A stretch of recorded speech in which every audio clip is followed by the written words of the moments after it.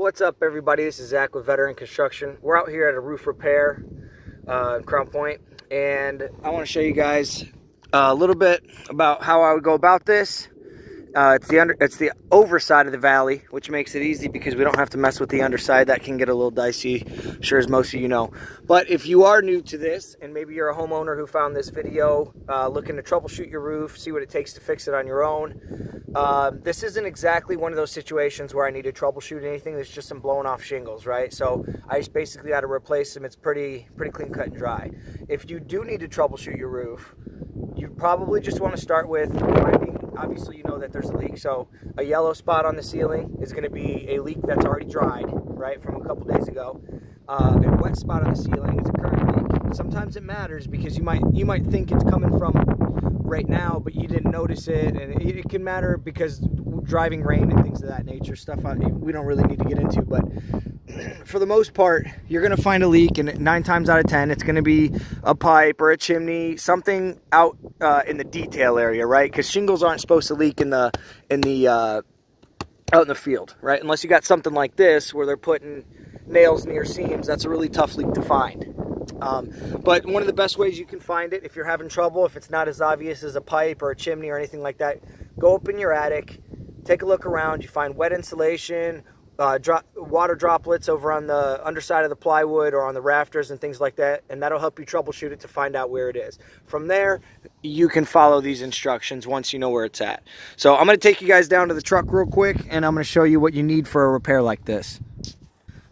All right, so what I have here is uh, some roofing cement, and I put it on my dashboard to get some to get warm, so it'll come out of the tube better. It's pretty cold outside right now, uh, so you're gonna have trouble if you don't do that. Hey, you really hurt your hand trying to get this stuff out of there if it's not coming. So you need a caulk gun, uh, obviously, to go with that. You'll need a flat bar. The bigger the bend, the better. I don't have the one I uh, like to use for it, but this one will work just fine. Um, as, as far as hammers go, I use smaller hammers for repairs and you're going to need a hook blade. All right. So this is used for cutting shingles. Straight blades are uh, not ideal for cutting shingles. However, if you do not have a hook blade, you can use a straight blade on the back of the shingles. Which brings me to my next point. You're going to need shingles, which we have in here somewhere. Backside those are IKOs. Uh, not a shingle I like to install. And uh, I mean, this is just a repair. It's what was put up there.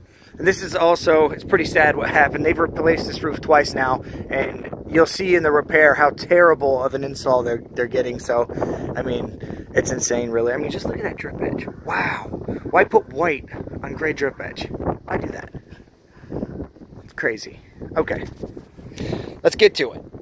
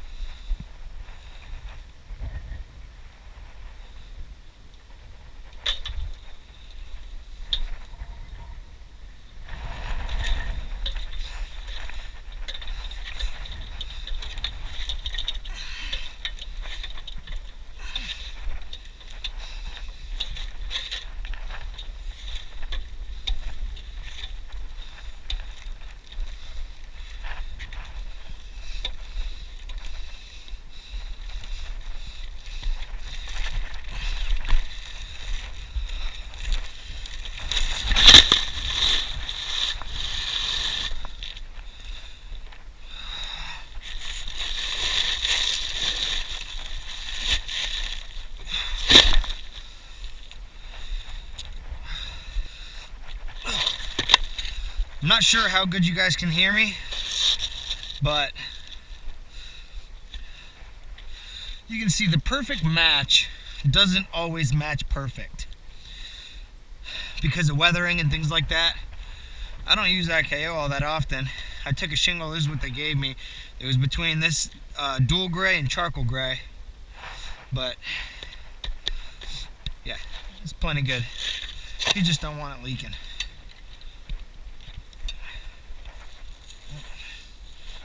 It's not the hole I want.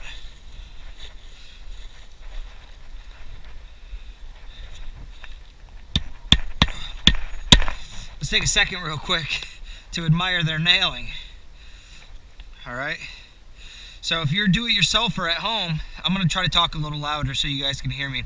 If you're a do-it-yourselfer at home, these high nails aren't doing a whole lot of justice for the shingle. So I came through and I put these in uh, with the first time I came up here to get the shingle sample and everything.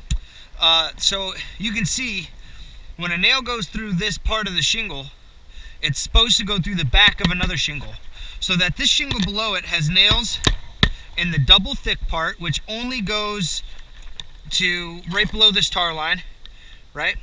You can see right here, take this off, right there, like my nail is barely actually catching that.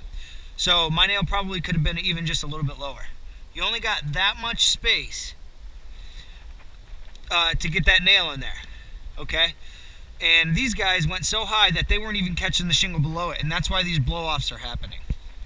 All right, so as I come through, put these nails here, take note of where you should be nailing your shingles.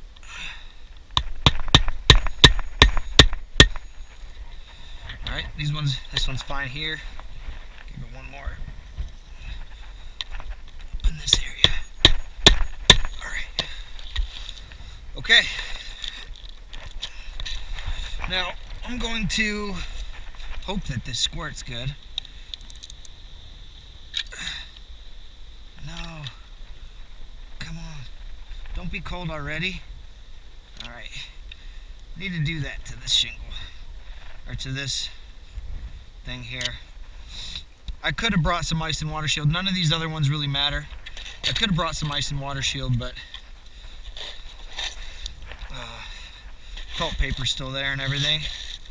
So we're just gonna go ahead and hang this. And I'm gonna caulk these two nails also, that one and that one, because they're extremely close to the seam. I don't like that. hate it, as a matter of fact. See how I'm leaving space for that shingle? The seam's gonna be here. Leave space. You want a nail roughly six inches away.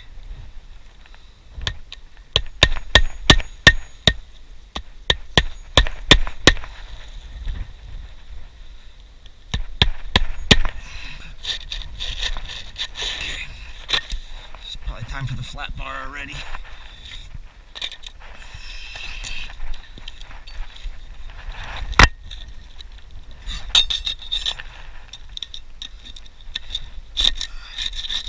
So you want to gently separate that.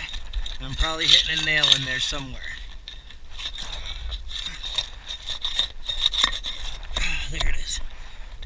This is why I said more bend is better. You see, see how that is? Don't got much bend. So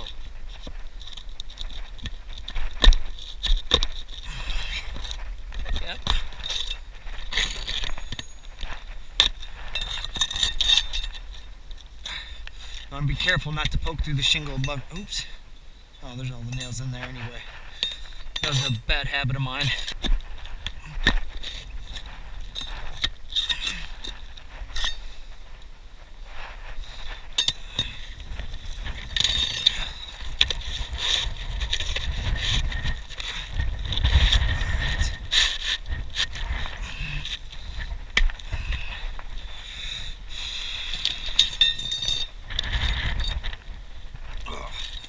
real uncomfortable up here.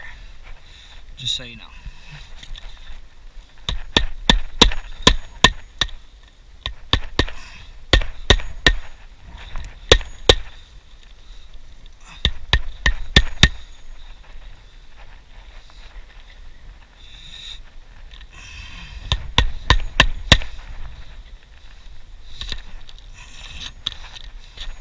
Here's what I meant by the short nails, right? I'll be able to get it here a lot easier with a short nail. If it's on a thick part like that, sometimes you can set it and it won't hurt the shingle. Oops. Any more than my fingers just did.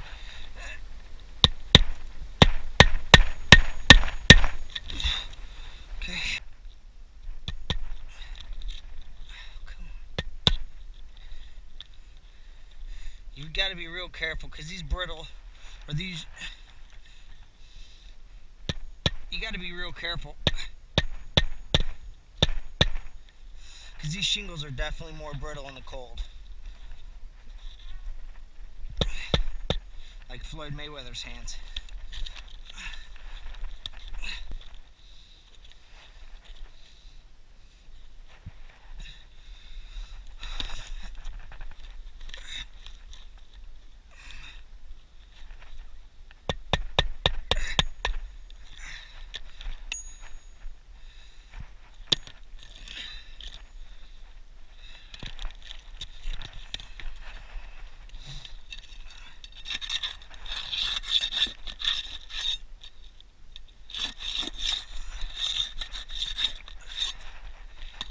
Gonna have to get up on this side, kind of do what we did earlier.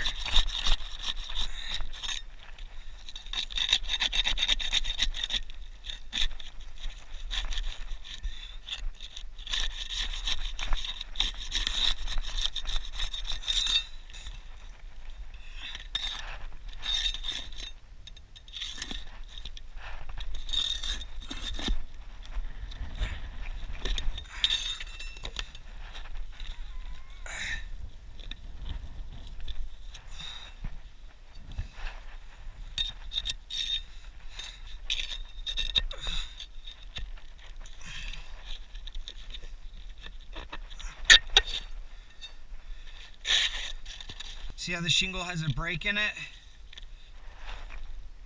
Means we should probably take that one up. Oh, look at all those need nailed. Bad.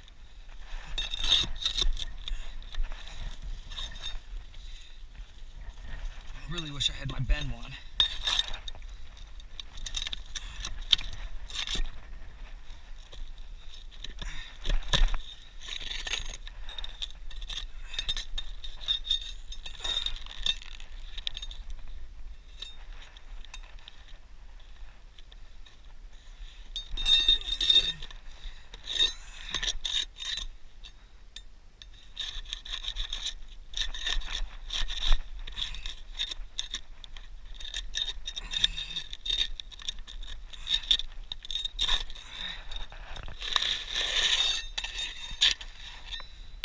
The way it tore, there's at least one nail up here.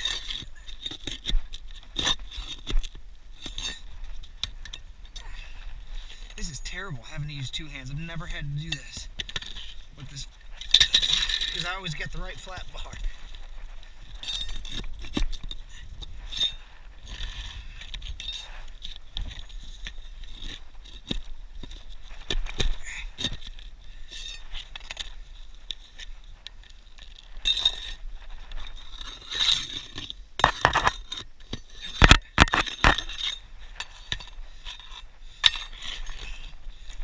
Should be clear. If not, they'll let me know.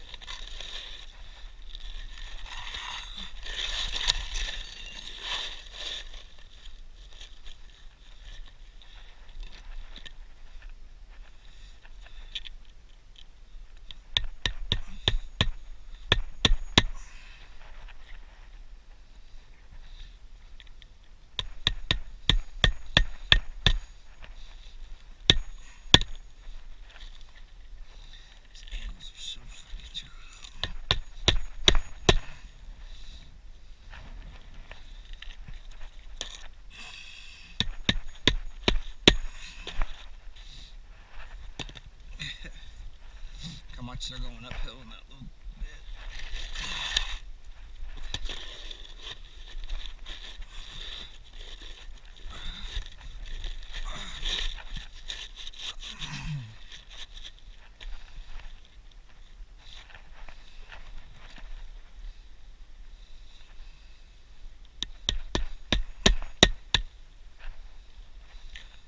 bit weird seam right here. They don't know how to do their stair steps, and that probably screwed me over one of these. No, it's okay. But yeah, so now I gotta watch for a seam here, about right there, because they don't know what they're doing. So I'll put two close ones over here. It's very important, the seams.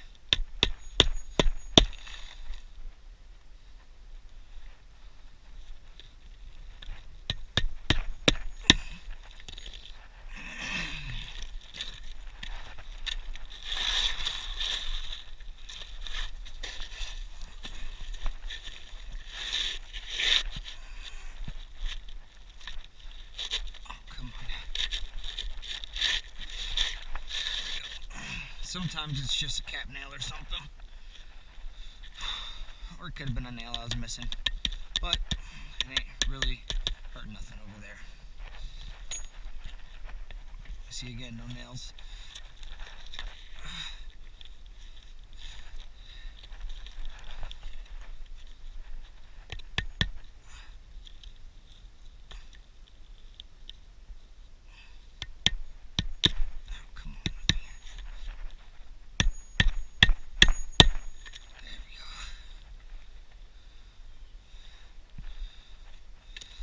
What's easier, the shorter the bigger.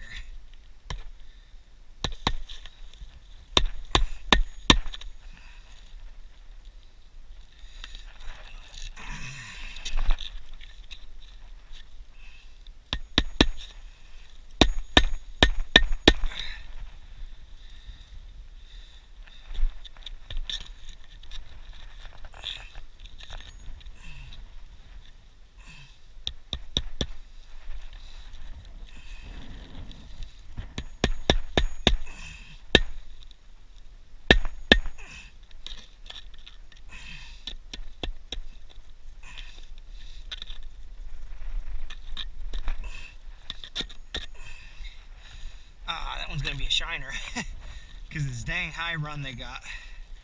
It's all right.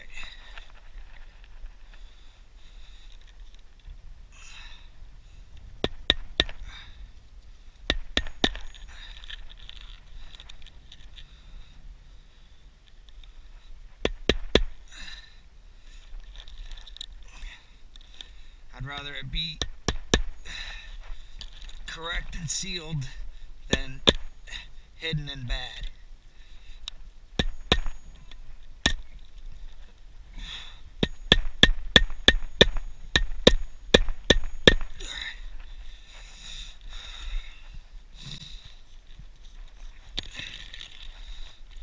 So I'll show you what we can do for that to kind of hide it a little bit here.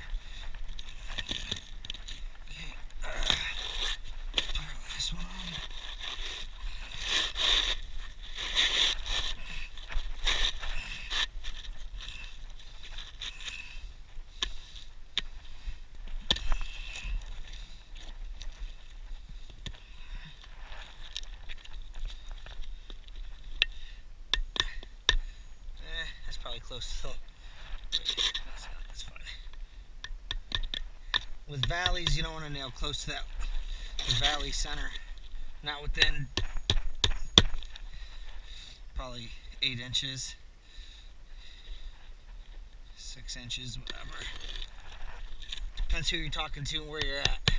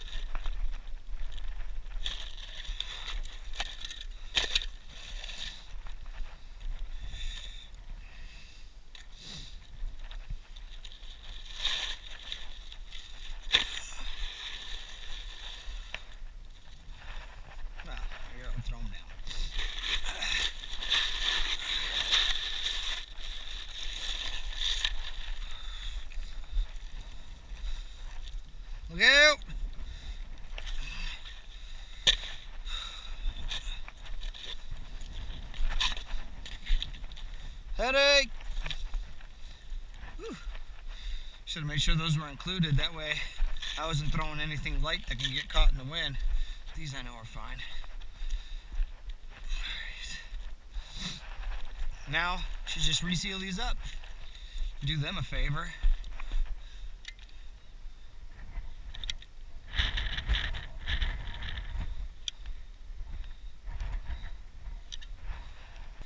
I still need a nail.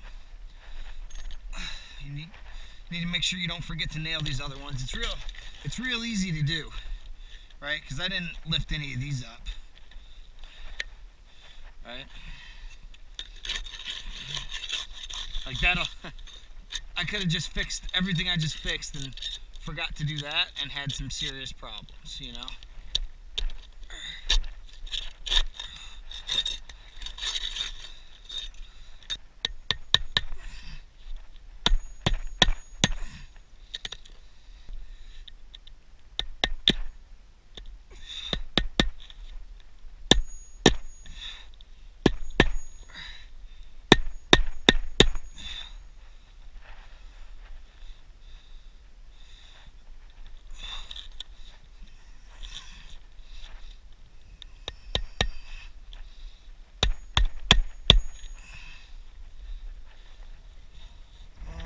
down to short nails unless I got more in here.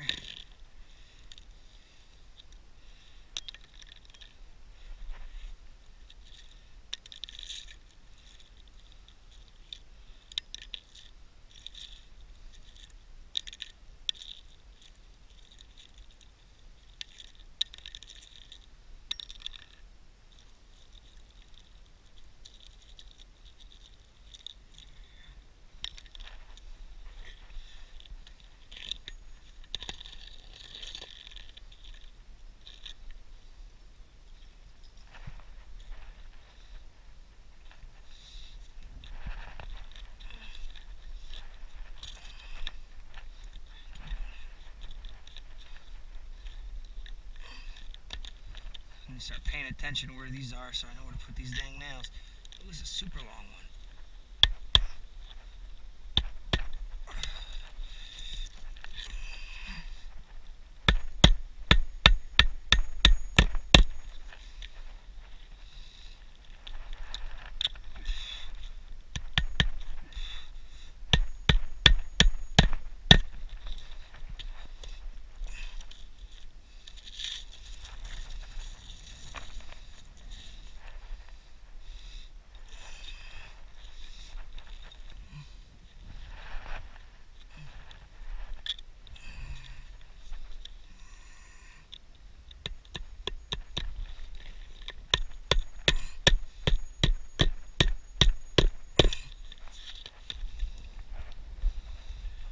Okay, so we're all done here.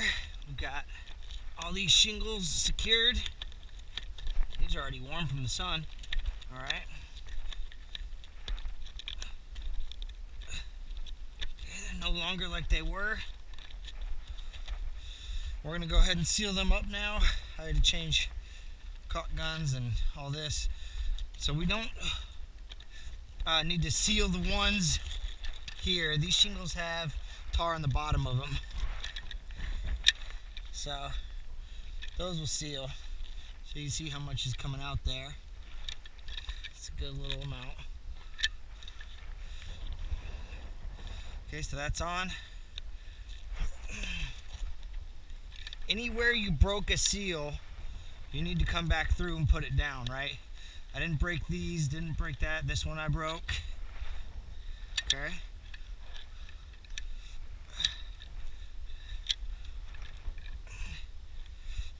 Can't hurt to cover some nails sometimes and stuff too.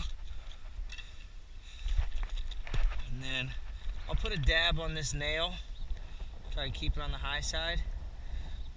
Okay, and then I'm gonna come back through with a piece of shingle and just put it right over it. Sometimes you'll get that in repairs.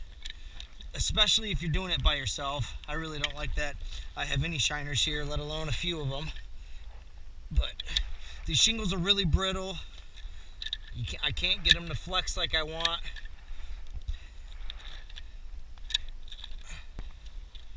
One thing I wanted to do, which is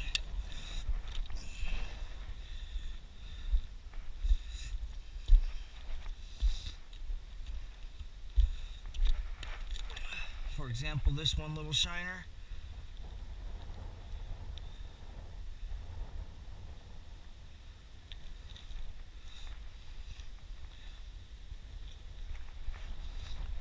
Okay.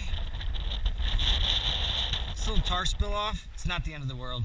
I mean, most people ain't looking at roofs that closely anyway, and on top of that, every shingle I've ever really have used, like you see, this is a tar spill of mine. That you see that all the time on roofs and brand new shingles. And what you're gonna want to do is you want to step on these a little to help them squish down into that stuff.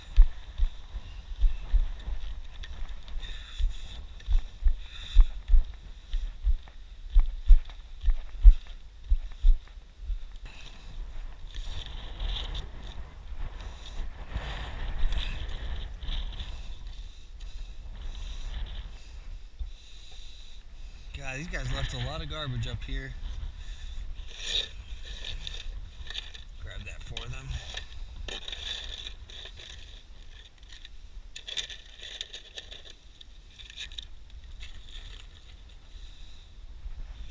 These nails and stuff, they'll, they'll roll out and uh, roll out of the downspout. Let me get this ratchet strap off here. It's not really doing a whole lot.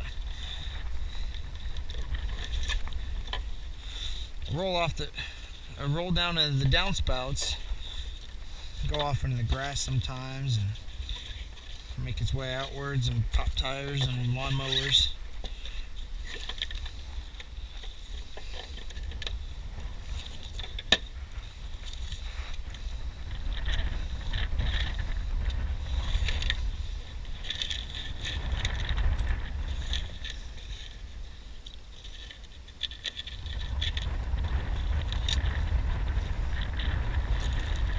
your old nails from somebody else.